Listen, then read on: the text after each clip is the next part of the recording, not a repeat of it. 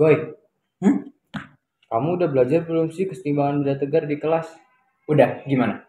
Boleh tolong ajarin nggak? Soalnya saya kurang ngerti. Boleh-boleh. Sini saya ajarin. Ah,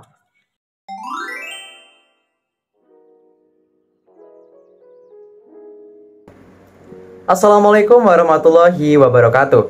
Halo semuanya, pada kesempatan kali ini saya akan memandu teman-teman sekalian untuk mempelajari bersama-sama mengenai kesetimbangan benda tegar. Tapi sebelum itu, alangkah baiknya kita berdoa terlebih dahulu.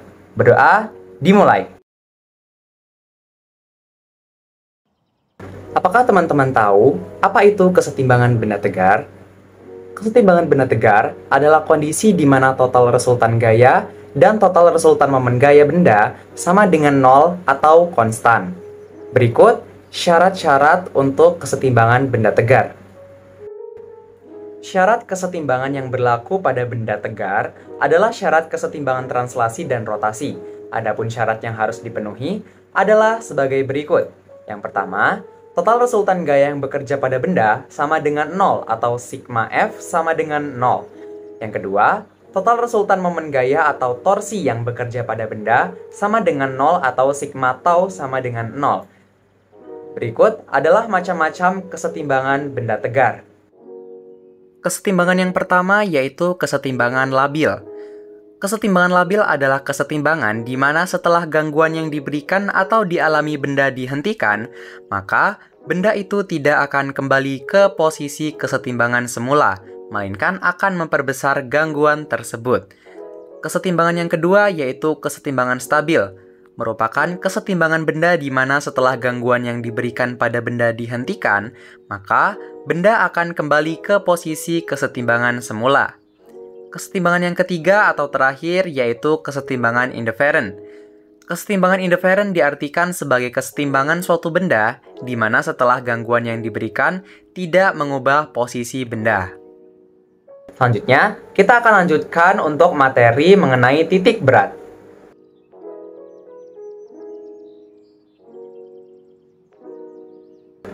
Sebelum kita bahas lebih lanjut mengenai titik berat, apakah teman-teman tahu apa yang dimaksud dengan titik berat? Jadi, titik berat merupakan suatu titik pada benda yang mana gaya berat pada benda bekerja secara efektif. Berdasarkan jenis penyusunnya, titik berat dibagi menjadi dua, yaitu titik berat pada benda homogen dan titik berat pada benda heterogen, di mana untuk jenis titik berat pada benda homogen terbagi kembali menjadi tiga lantaran adanya perbedaan dimensi, antara lain titik berat benda homogen satu dimensi, dua dimensi, dan tiga dimensi. Selanjutnya, kita akan lanjutkan untuk macam-macam titik berat benda. Berdasarkan jenis bendanya, titik berat dibagi menjadi tiga macam, yaitu titik berat benda homogen berdimensi 1, titik berat benda homogen berdimensi 2 atau luas, dan titik berat benda homogen berdimensi 3 atau volume. Macam titik berat benda yang pertama, yaitu titik berat benda berdimensi 1. Titik berat benda berdimensi 1 berpusat di panjangnya saja, dan secara matematis, rumus titik berat benda berdimensi 1 adalah sebagai berikut di mana X1 dan X2 adalah titik absis garis ke-1 dan ke-2, kemudian Y1 dan Y2 adalah titik ordinat garis ke-1 dan garis ke-2, kemudian L1 dan L2 adalah titik panjang garis ke-1 dan garis ke-2. Yang kedua, yaitu titik berat benda berdimensi 2. Benda berdimensi 2 adalah benda yang memiliki panjang serta lebar, contohnya persegi, segitiga, jajar genjang, trapesium, dan sebagainya. Titik berat benda berdimensi 2 ditinjau dari luasan benda tersebut. Secara matematis, dirumuskan sebagai berikut. Dapat kita perhatikan bahwa rumus pada titik berat benda berdimensi 2 sama dengan titik berat benda berdimensi 1. Hanya saja, pada rumus titik berat benda berdimensi 1 menggunakan panjang dan pada titik berat benda berdimensi 2 menggunakan luas bangun. Untuk yang ketiga atau terakhir, yaitu titik berat benda berdimensi 3. Cara menentukan titik berat benda berdimensi 3 hampir sama dengan benda berdimensi 1 atau 2. Hanya saja, pada dimensi 3, kamu harus tahu dulu volume bendanya. Contoh, benda berdimensi 3 adalah tabung, limas, prisma, kubus, balok, dan sebagainya. Secara matematis, rumus titik berat benda berdimensi 3 adalah sebagai berikut. Untuk memperdalam pemahaman kita mengenai materi kesetimbangan benda tegar, mari kita bersama-sama mengerjakan latihan soal. Jangan lupa siapkan pena dan buku ya. Soal nomor 1. Perhatikan gambar berikut. Jika massa benda 5 kg dan percepatan gravitasi 10 meter per sekon kuadrat, maka tegangan tali T1 sebesar titik-titik. Untuk pembahasannya, adalah sebagai berikut. Diketahui, sudut di belakang T1 dan T2 adalah 135 derajat, kemudian massa balok 5 kg dan percepatan gravitasi sebesar 10 meter per sekon kuadrat, dan ditanyakan T1. Dengan menggunakan persamaan T1 per sin 135 derajat, sama dengan T2 per sin 135 derajat, sama dengan W per sin 90 derajat, persamaan menjadi T1 per akar 2 dikali 1 per 2 sama dengan 50 per 1. Sehingga didapatkan nilai T1 sama dengan 25 akar 2 Newton. Jawaban yang tepat adalah pilihan yang B. Soal kedua. Sebuah papan iklan bermasa 10 kg digantungkan simetri pada aluminium bermasa 2,5 kg dan panjangnya 2,5 meter seperti gambar berikut. Perbandingan T1 dan T2 adalah 3 banding 4. Jika tegangan tali maksimal T sebesar 400 Newton, ketinggian minimum H tempat tali diikatkan pada dinding adalah titik-titik dengan G sama dengan 9,8 meter per sekon kuadrat. Baiklah, untuk pembahasannya adalah sebagai berikut.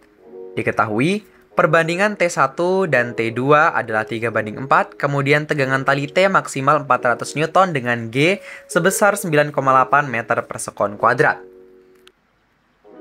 Kemudian, untuk mencari T1 dapat dengan cara mengalihkan 3 per 7 dikali 98 sama dengan 42. Kemudian untuk nilai T2 dapat dicari dengan cara 4 per 7 dikali 98 sehingga nilai T2 sama dengan 56. Dengan menggunakan persamaan sigma tau sama dengan 0, didapatkan penjabaran sebagai berikut. T sin theta dikalikan 2,5 plus WA dikali 1,25 minus T1 dikali setengah minus T2 dikali 2 sama dengan 0. Kemudian masukkan masing-masing dari nilai variabel tersebut sehingga didapatkan 400 sin theta dikali 2,5 plus 24,5 dikali 1,25 minus 42 dikali setengah minus 56 dikali 2 sama dengan 0. Kemudian disederhanakan menjadi 100 sin theta plus 30,625 minus 21 minus 112 sama dengan 0. Kemudian dipindah ruaskan sehingga didapatkan nilai 100 sin theta sama dengan 102,375. Kemudian ruas kanan dibagi dengan 100 sehingga sin theta sama dengan 0,102375.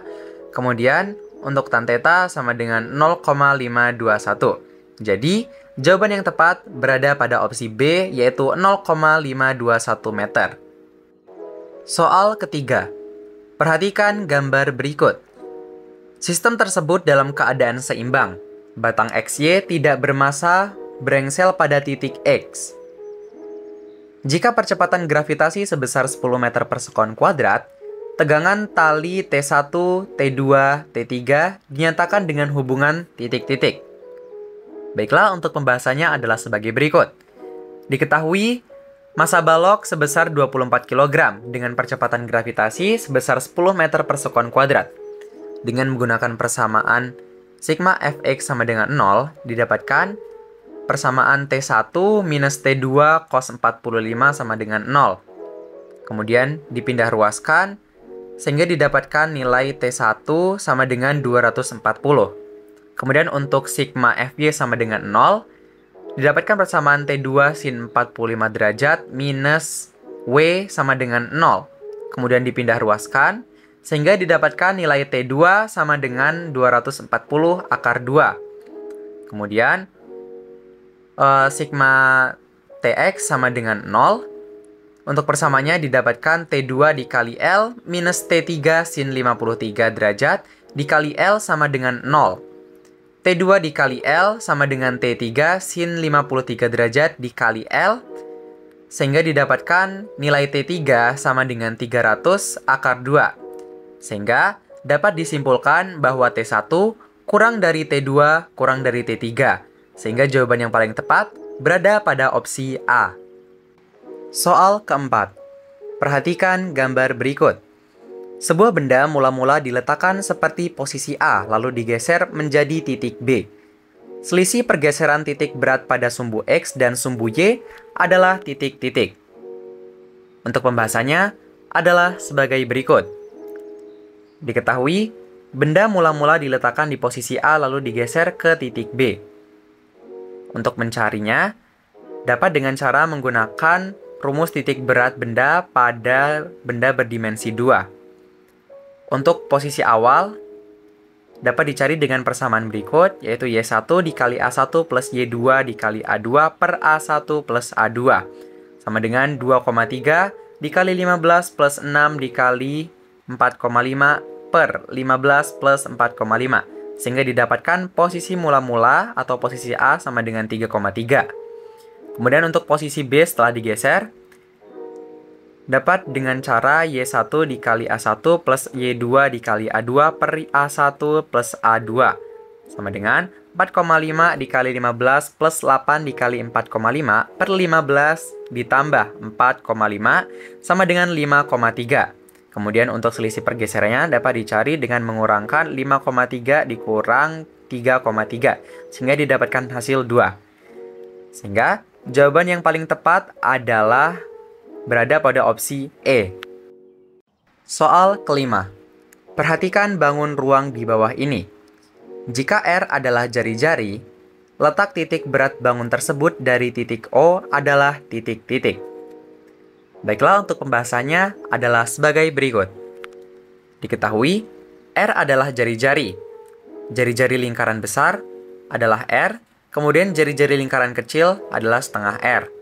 Kemudian, dengan menggunakan persamaan berikut, didapatkan bahwa R dikali pi R kuadrat minus R per 2 dikali pi R kuadrat per 2 per pi R kuadrat minus pi R kuadrat per 2. Sehingga didapatkan sama dengan R minus 1 per 8 R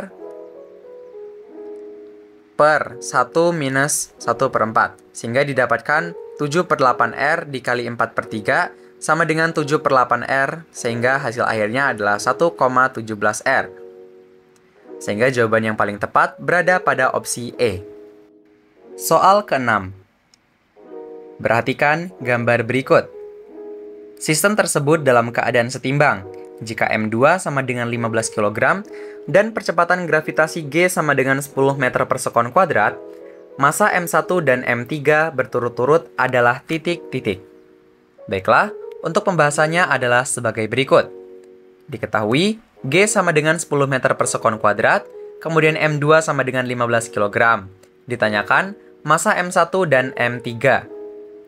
Dengan menggunakan persamaan sigma Fx sama dengan 0, didapatkan bahwa T3 sama dengan 3T1 per 4. Kemudian, dengan menggunakan sigma Fy sama dengan 0, didapatkan nilai T1 sama dengan 120 kemudian disubstitusikan sehingga didapatkan nilai M1 sama dengan 12 kg.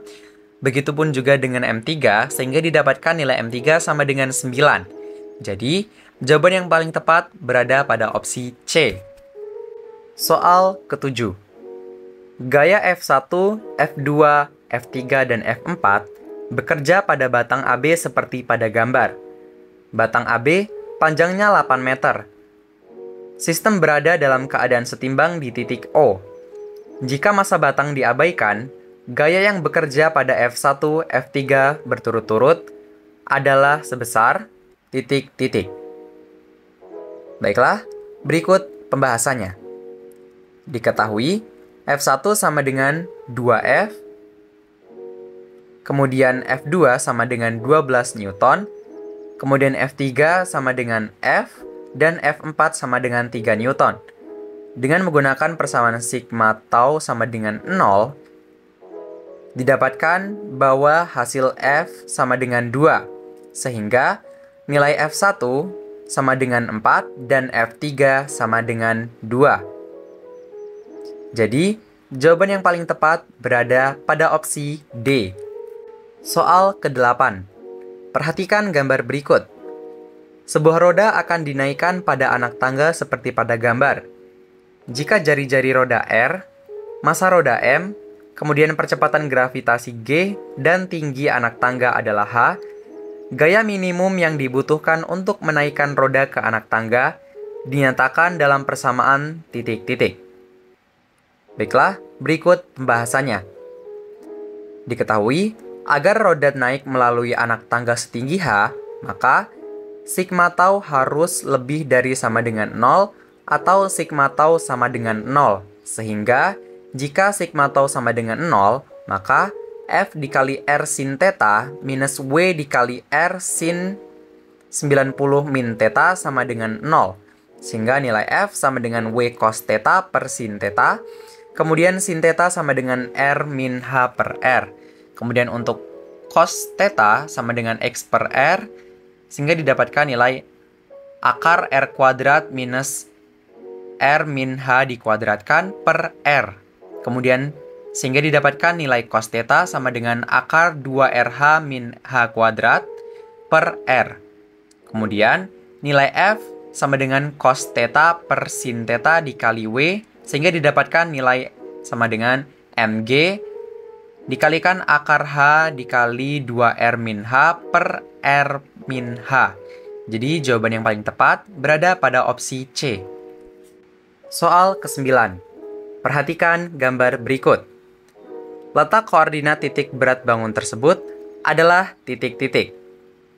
Baiklah, untuk pembahasannya adalah sebagai berikut. Diketahui, jika bangun dibagi menjadi tiga bagian secara vertikal, maka penyelesaiannya adalah sebagai berikut. Dengan menggunakan rumus titik berat benda berdimensi 2, maka Nilai X sama dengan X1 dikali A1 plus X2 dikali A2 plus X3 dikali A3 per A1 plus A2 plus A3. Sehingga didapatkan nilai X sama dengan 6. Kemudian untuk nilai Y sama dengan Y1 dikali A1 plus Y2 kali A2 plus Y3 dikali A3 per A1 plus A2 plus A3. Sehingga didapatkan nilai Y sama dengan 4,5. Sehingga jawaban yang paling tepat berada pada opsi A. Soal ke-10. Perhatikan gambar bangun ruang berikut. Bangun di atas merupakan perpaduan tabung pejal dan setengah bola pejal. Letak titik pusat massa gabungan bangun tersebut adalah titik-titik. Baiklah, pembahasannya adalah sebagai berikut. Diketahui, R sama dengan 15 cm, H sama dengan 50 cm. Kemudian, dapat dicari nilai X sama dengan 15. Kemudian untuk nilai Y sama dengan Y1 dikali V1 plus Y2 dikali V2 per V1 plus V2. Sehingga didapatkan nilai Y sama dengan 31,77. Sehingga jawaban yang paling tepat berada pada opsi D. Oh gitu. Iya, gimana? Udah ngerti kan? Ternyata kesetimbangan benda tegar nggak susah itu ya. Iya, asalkan rajin belajar, kita pasti bisa. Ngomong-ngomong, makasih ya Goy udah ngajarin. Sama-sama, Rel.